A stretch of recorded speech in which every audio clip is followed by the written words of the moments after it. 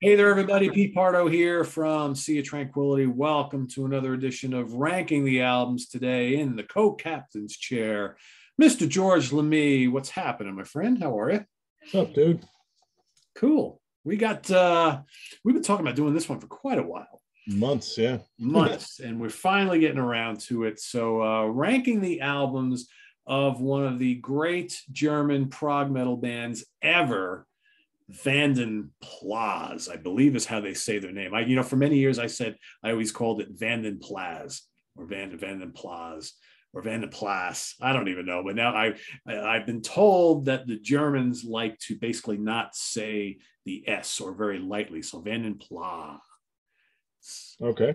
I don't know. I, I've I've heard interviews and things where they say Vanden Plas, not Vanden Plas. Vanden Plas. Name of a car, right? I think I've seen one. Yeah. Yeah. I don't know how they pronounce it, but I don't know, but a great band nonetheless. And uh, I I've been listening to them pretty much since the beginning. So they've been around since God. When was that first album again? 1994, right? So a long time ago. They were. Uh, you know, they were one of the first of the bands that kind of came in the wake of Images and Words. Uh, there was a bunch of them, them and Eldritch, and uh, you know a lot of other, a uh, couple of what was that? Uh, the Elegy, remember Elegy in Paris, yeah. man? Uh, a whole bunch of these bands, and then Symphony X a couple years later, but uh, a bunch of these bands that kind of came in the wake of that, you know, Dream Theater first starting to hit really big, and all of a sudden, you know, everybody wanted to do, you know, something like this. Empty Tremor was another band, so you had all these like younger prog metal bands that were kind of popping up all over the place. But I think that uh, these guys really stuck with it. They stuck with their formula. They have a great front man and pretty much the same lineup throughout their entire history which I think yeah. is pretty crazy. You know, it's like I mean, uh, every, all of them, um, and a rock solid band that I think has seen uh, their songwriting just really just get better and better with every album. I mean, if you if you're watching this and you like heavy prog or prog metal like concept albums, you've come to the right place because they are really good at putting these conceptual works, uh, two part albums, and you know these grand concept albums and like rock, rock metal, metal operas, or whatever the hell you want to call it. Really good stuff. Great musicianship, great vocals, and uh, great production on most of these albums too. So we got ten of them in total. They do have a, an acoustic album, which we're not going to cover today, which I've never heard. And George says is pretty much garbage. So we're not going to talk about that. What's that one called? AcCult. AcCult. So we're not talking about that one, but we've got 10 others to get to. So uh, I'll have George kick us off with his number 10 as we work our way backwards. All right, my number 10 is uh, the debut, 1994, Color Temple. Um, it's uh, noticeably less heavy than the rest of the catalog. It's uh, pretty soft, barring a couple songs. You have Push is kind of a fast metal song, and then you have Soul Survives is a long Dream Theater type epic. But most of the stuff in between is uh, a little on, little light in the loafers. Um, it's just they hadn't found their footing yet, and for me, uh, that album is out of time with the rest of their catalog, so I, I put it at the end. Yeah, uh, more about that in a in a minute. I, I, got I got one before that I want to kind of get off my chest at number ten, which I think, you know, in comparing my bottom two, and I'll just spoiler alert, my my number nine is going to be the one that George just mentioned. Uh, but I think this one I rank a little bit lower just because I think this album was to me a real letdown compared to the one that came before it. So I'm going to go with Chronicles of the Immortals, Netherworld 2 from 2015. So this is the second part to the Netherworld saga. And to me, it's kind of like a real step back with a, with not only the first part, but a lot of the albums that came before it.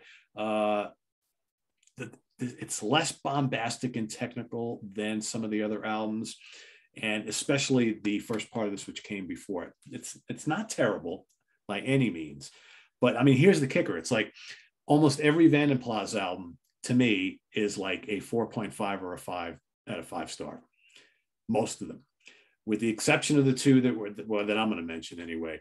Uh, this to me, I remember I reviewed this. I gave this a four. I think I was even kind of stretching it a little bit. There are some good songs on here. Stone uh, Stone uh, Rose's Edge is pretty good. The Last Fight is not bad as well. Circle of the Devil, um, nothing bad, but it's mostly kind of like symphonic rock. Doesn't it lacks the oomph of a lot of their other albums? It's not as much metal, I think, but it's still well done. Sounds great. Uh, so for those watching, if you're into the more of the symphonic uh, side of progressive metal and you want a little less metal, more symphonic and prog and like that kind of whole big orchestral thing, this is probably the one you may want to check out. But at, in saying that, it's my least favorite out of their catalog. So that's my number 10. All right. Uh, my number nine is the most recent one. Wow the Ghost Experiment. Oh, which one is this one? Illumination. Illuminations. Yeah, I hate when that's subtitle. Um, again, this catalog so so consistent that uh, an album this good to be this low, but uh, it's just got uh, a couple of longest tracks that I feel are they're more boring moments than usual. Um, certainly a, a, good amount of good songs, but uh, when you're splitting hairs, this one uh, just came out a little short for me, so I'll go with it at my number nine. And again, too, and you know, how often have we seen this with uh, really, really strong catalogs where we also have a brand, a kind of newish release? It's like we don't really have the history with that album really yet fully. So yeah. you wonder if we were if we were to do this like three years from now, you know, and then they probably will have another album or two. Then you got to wonder if Illuminations might move up the rank a little bit for you. You know, it's it yeah. happens. It's my number nine is Color Temple from 1994, the debut. Uh, I agree with everything George said. They're still kind of finding their way. It's maybe not as heavy. It's still pretty melodic, um, but I think it's a competent set of like Dream Theater inspired prog metal. You know, it's uh, it's it's lacking the production. I think of some of the, the albums that follow, and it's lacking a little bit of that kind of oomph, which they always seem to have. But you know, some good tracks. When the Wind Blows is good. Judas is pretty strong uh, Anytime and Soul Survive, I think are some of my favorites on the album. It's, it's a good album, solid, solid debut. But man, I think with their second album, they would just really start to uh, expand on their sound and, and really just get more mature like right away. So uh, that's my number nine.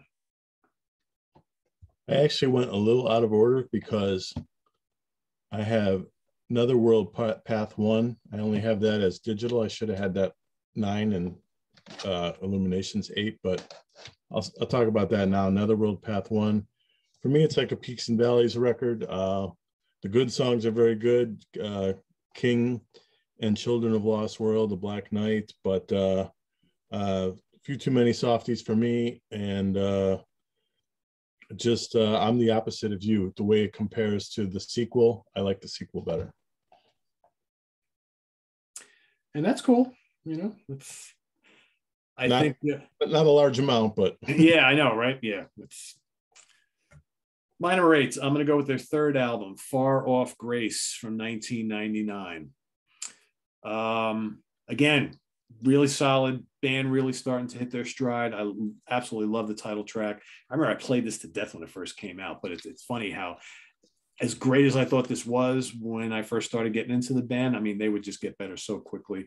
Uh, into the Sun, Fields of Hope, uh, I can see are all highlights here, but there's really no no bad songs on it. If you get the uh, the expanded uh, edition of this, you get uh, they do a cover of Kiss of Death by Dokken, which is actually pretty damn good. Uh, yeah, yeah, it's fun stuff, right? And Andy Kuntz, Kuntz or Kuntz, Andy Kuntz, Kuntz a really, really great singer. And I think one of the unheralded vocalists in prog metal. He's really, really good. Uh, and he shines on all these albums. So that's my number, number eight. Uh, my number seven is Netherworld Part Two. Like I said, not much to choose from between the two, but I just feel like this has a few more crunchy tunes, a few more up tempo tunes. I I think that's the, their wheelhouse is uh, Stefan Lill's distorted tone, just killer. The production is massive, and uh, like most metal, I think it benefits from up tempo, and this one just has a few more up tempo tunes than the part one.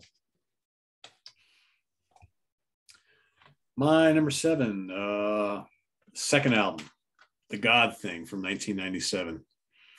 Sorry, Ken, I love it, but it's not quite not quite going to be as high as uh, as uh, we spoke about uh, talking about Ken Golden on, on the In the Prog Seat show. He's like, uh, the God thing better be number one from the both of you. I'm like, well, not quite. Uh, I love it though. Again, huge jump up in quality from the first album to here. And I, I know a lot of people love this album. I, when it came out, I was totally into it. Uh, you got some scorching stuff here. I think Andy, really the whole band, uh, you know, Andy, Stefan Lill, the guitarist, Andreas Lill, the drummer, uh, Torsten Reichert and Gunther Werno, Werno on keyboards. Every guy in this band is a virtuoso, and you can hear like star making quality all over this album. You know, it's really starting to show and rear its head. Um, you know, Rainmaker, Garden of Stones, Crown of Thorns, Salt My Wounds, You Fly, all standout tracks, all really good. Um, yeah, quality stuff, great album cover, you know, and I always like their logo, which I think is kind of cool. So yeah, this yeah great stuff. Great stuff, I think. But again, you know, it, it's funny. And an album that good and it's number seven just goes to show you the strength of this catalog. Yeah. My number six is Ghost Experiment Awakening. This is real consistent. Uh, not a down song on it, but maybe not as many jump out songs as usual. I can usually point to at least a couple songs where I'm like, wow, that's really great. This one, beyond the opening track, Cold December Night, just got a great chorus. Beyond that, I'm not sure. It's a little bit amalgamous for me compared to some of the other ones, so I put it at number six. Yeah, I think those Ghost Experiment albums are pretty damn good. Um, I, you know, I sometimes get worried when these bands like release these like concept albums and they do like one after another and don't put them all in one set. You're always like you always you, you always get the feeling you're going to be kind of disappointed one over the other. But these are pretty strong. I mean, they they've proven in their catalog that they do a pretty good job with that. My number uh, six i originally had this higher. This is the one that kind of was all over the place in my ranking and i kept moving it around. And i'm, I'm thinking like man if we if we talk about this next week i might even move it up higher. But beyond daylight from 2002 really good. Uh, this i think made my top 10 releases from that particular year. Um, uh, free the fire a lot of hooks on this album. Nightwalker really good prog metal anthem. Uh, the title track is big and epic. Great keyboard and guitar exchanges all throughout this album. Really good production. Uh, this one, uh, listened to a lot back in the day. And again, a really cool cover. And uh, yeah, I, I like it. Could rank higher. I, just, I'm, I have had a hard time with this whole catalog because depending on your mood, you know, and depending on, uh, you know, and, and they they were pretty prolific all throughout the 2000s and it's just like you just you kind of look back in time it's like well i remember i was really into that album for about a year year and a half but then two years later they released that one. Oh but i still listen it's just like it was driving me crazy. I just kept switching switching the order around. I'm like so i you go throw them up in the air however they land. There you go there's my order. That's kind of how i feel here. It's like for some people that's a fault you know it's samey and then for some people uh yes yes and i've heard people call this band kind of samey and i i, I get it but the albums are so freaking enjoyable and so exciting. It's like it's isn't that the bottom line? Do you like it or do you not? I mean, yeah, yeah, exactly, exactly. You know what you're gonna get, and that's okay. I, I don't think the songs necessarily sound alike, and a lot of these albums have different flavors, but there is a formula, right? it works for them, and they deliver. So, I don't know. My number five is the God thing this is the first one I really liked. I, I had the the debut. I had Color Temple.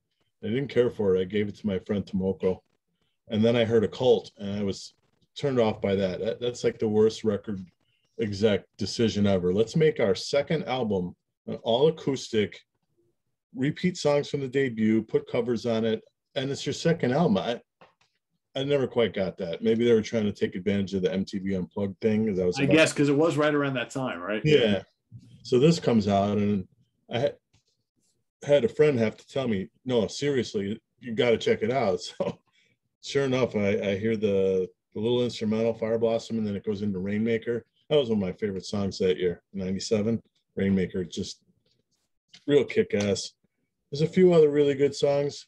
The thing with this album, why it's not higher, is uh, this one's a little tempo challenged. It's a lot of mid mid-range tempos and the songs do blend a little bit, but uh, strong album otherwise. Yeah, and if I remember correctly, didn't didn't this come out right around the same time or shortly before or after Dream Theater's Falling into Infinity? And I remember a lot of people were like disappointed with that album, and I was pointing them to this. Yeah. Like all of a sudden, like, well, this is the kind of stuff that we want at a Dream Theater, right? Yeah. For the most part, that they kind of weren't delivering at the time. Yeah. All right. Uh number five for me again, could even rank higher. Uh, this is from 2002 uh, 2010, sorry, uh, the Seraphic Clockwork, killer album, really killer album, great production, great songs. It's big, it's bombastic, it's powerful, it's kind of theatrical because again, this is right around the time, you know, the 2010s and onward, I think is when Andy really was enjoying doing these kind of like rock opera-ish things. So it made the the albums even more symphonic and kind of theatrical and bombastic. Uh, but they're still really heavy, and there's some great stuff on here. Uh, Scar of an Angel has some great vocals. Uh, the Final Murder is just absolutely killer. Uh, Holes in the Sky, On My Way to Jerusalem, Frequency, just top to bottom, really, really strong. Could rank higher. Um, yeah, great and great album artwork on most of these too, which I really like. They, they, they all their albums have like a certain feel. You know, you get the you get the uh, the logo, which is always the same, and you get these really cool, you know, these really cool album covers, and just they're very identifiable, which I like. That's one of the things about Vanden Plas I think uh, that I kind of like. And again, it goes back to some people don't because it's kind of samey. The albums have a certain feel, got the same logo. The albums all have a certain formula that really works for them, but I like a band that you can count on, like year in and year out, album after album. And I think these guys are one of the top progressive metal album uh, bands of the last, you know, 25 years that don't that kind of don't get the credit for it that they should. And they put effort into the small things like cover art and production, and you know, you like to see a band that has all the bases covered. Yeah, yeah, absolutely. Yep. My number four is uh, Beyond Daylight. When this came out, I wasn't that high on it. This is one that's built up steam for me. Uh, yeah. Cold Wind's really good. Uh, Free the Fire, another good one.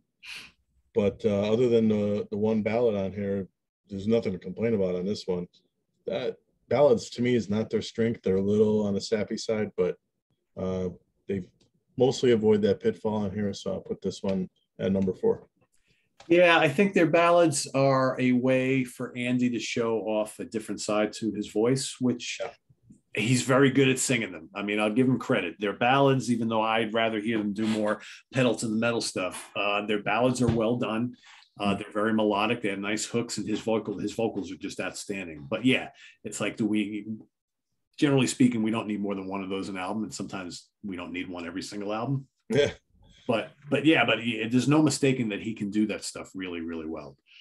So, all right, my number four, right? Uh, the Ghost Experiment Awakening from 2019. I I quite like this a lot. I, I like both the Ghost Experiment albums pretty much equally, as we'll see in a minute. Uh, these are big and epic, and a lot of you know. It's not like they have a lot of songs, but the songs are lengthy and they're pretty intricate. Um, and this is, you know, obviously part two of this uh, epic concept story. This one's a little shorter though. This one's like 45 minutes long, which is okay, but it's it's not lacking any great material. I mean, not all their albums need to be 65, 70 minutes. Uh, Cold December Night is a fantastic song. Uh, the Phantom of uh, Pren's Toy Guards absolutely kicks ass. Um, what else on here? Three Ghosts is killer, which is really melodic. I just I like this album a lot, and I to me as much as I love this, I even like the next part better, which uh, you know again doesn't always happen. Sometimes with these two part albums, I usually tend to favor the first part, but here I think uh, I like uh, the second part. So coming up in a minute. All right, my number three is Far Off Grace, 1999. This was a great year for prog metal. I mean, 99 is like the height of the uh, Dream Theater led whole the scene lemur voice and dreamscape and this and dream theater had one that year of course um yeah Iodic Rain incredible I can see incredible. Uh, Into the Sun. Actually, now I'm looking at it, it's really there's 10 songs, six of them start with I. Uh, how weird is that? I mean, yeah. Did they plan that? Who knows? yeah, it's uh, very strange, but uh, yeah, there's this. I think this has a few more wrinkles than a lot of some of their other albums. Maybe it's before uh, they they fell into some traps of you know maybe doing some things repetitively. This has a, a few more wrinkles, so I always like this one. Yeah, it's a good one. Uh, you know, and you had uh, Symphony X were also starting to make some waves right around that time as well. Um, so yeah, you had a handful of bands that were all of a sudden, you know, th- this was like uh, prog metal was was start because you know most of that decade was all about power metal bands, right? You had, you know, Dream Theater made their big splash, and I think, but there wasn't a lot of other bands that were consistently doing well. Uh, but then by the late latter part of the decade, you had, you know, these guys and a handful of others that were showing we're here to stay, kind of, right? And I think prog metal was was a pretty viable subgenre of metal by that point. All right, my number three, uh, like I mentioned, I'm going to go with part two of the Ghost Experiment, Illumination from 2020. I like this a lot. Um, yeah, it's just a great part two, blazing start to finish when the world is falling down, uh, under the horizon is big and heavy. Uh, I love the dramatic, the lonely psychogon. Kind of a cool title there. Black Waltz Death is pretty freaking cool and just just lots of melodies there. Um, I just think these guys just keep getting better and better, and uh, it, it's just it's hard to imagine like what great quality releases we've seen from them over the last like decade and a half especially and to think uh, where they could possibly go from here you know you keep i keep waiting for them to really like seriously stumble um, but they just don't really do that you know they have a couple albums that are like okay not as good as others but um, it's just high quality all the way so that's my number three dig it quite a bit another cool cover art yeah i like that a lot i, I like when you kind of put them both together right because they Blue and red, yeah. Yeah, which is really neat. All right, number two. Number two is Seraphic Clockwork. Mostly on the strength of the first half. The first uh, four or five songs, man, well, it's one ass kicker after another, yeah. especially the lead track frequency. Incredible. Uh, this is another one that when it came out, it just dominated. Uh, I believe it was a summertime album, just dominated my summer. Uh, actually there's not much I can pick apart here. This is all, all good. And what you were saying about him, Andy's uh, focus on theater, I believe he's done theater there. I think I don't if they haven't done it for their stuff, he's done it with other productions. So it's probably affecting it, but uh, it's great, great album. If if you only get a couple Vanden Plas albums, I would say this has got to be one of them. Yeah, I mean, yeah, I, I would, yeah, and you know why? Because I think that's a standalone album and i think as a first start even though i rank others higher i think i, I wouldn't recommend to anybody starting off with this band to start off with some of the the two part epics because that that should come later i would think uh, well one that we're both going to talk about in, in, a minute or so but i would think that seraphic clockwork and beyond daylight are really good places to start and maybe one other uh, that one or two others that we'll get to but um, yeah it's it's that's a great one really is all right, my number two. Uh, like I mentioned earlier, I am a big fan of part one of some of these, and especially Chronicles of the Immortals, Netherworld from 2014. Uh, the first of two parts. Uh, love the album cover, by the way. Really cool yeah. stuff. Yeah, I mean, uh, this is cool because I mean, you know, we talked about Andy doing theater or, you know, sings like he should be doing theater. He's basically like this storyline for these albums have all of these different characters. Now, any other band would have probably brought in all these guest stars to go do the vocals for all the different characters. Not these guys and not this dude, because Andy Kuntz basically is like, I'm going to sing every part to this whole, so- whole story. He does a phenomenal job it's fun it's bombastic and loads of you know blazing guitar solos and keyboard solos uh, memorable tracks all over the place but you know the album really flows as kind of like one long piece and it never really lets up um, a ghost requiem king and the children of lost world a black knight i mean so many great great tracks on here and it's real classy that's what i like about these guys they just they have this classy element to them, which I think I really appreciate quite a bit. And that's, you know, I guess it's down to the songwriting, the production, the whole presentation type of thing. But yeah, that's my number two. Chronicles of the Immortals, Netherworld. And you know, we haven't shown a picture of them. While you're talking about your pick, I'll see if I can get a picture of the whole band together here. So, uh, well. I was going to mention cool guys too. I, uh, right after 9 11, they were supposed to play ProgPower and they didn't show up because they were scared to fly, except for the keyboard player. He showed up and he was like the coolest dude. Like, everyone's like, oh, you're the one guy that's not afraid. And he's like, yeah. He's downplaying it the whole thing. So then they they came back the next year and played, and uh, they were great, as tight as you would imagine. And of course, they all met with everybody, and they're totally cool dudes. But uh, so, for those of you watching, if you haven't caught it already, uh, I interviewed uh, their drummer. Uh, I'm trying to find him in there. There he is, Andreas, uh, on the channel. God, was that last, probably last year, I guess, or early this year? I don't even remember. yeah, I remember that. Yeah, really cool dude. Um, and like, yeah, he was, uh, you know, very personal. There's Andy, the singer. Like I said, they're, they're all stars in this band because they're all virtuoso musicians, but Andy is a special talent. He is an exceptional vocalist, and uh, you know, and Stefan is a killer guitar player. The whole the whole band is great, but uh, they're just uh, they're well worth your time if you haven't checked them out. Well, we both know number one, Cristo. Yeah, I guess so, right? Again, Cristo. the first half of this is so good. The first five songs or so are just another level. Uh, there's no doubt that if you're going to get one Vanden Plas album, that you go here.